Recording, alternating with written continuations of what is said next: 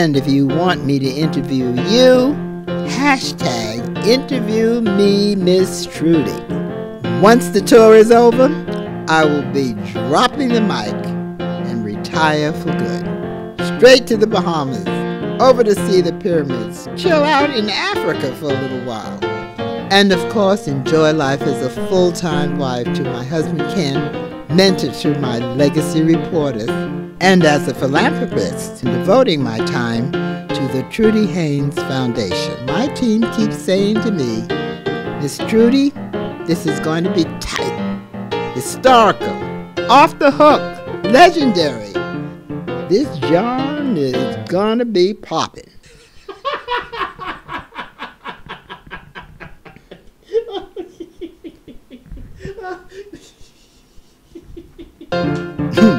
I guess that means it's gonna be good.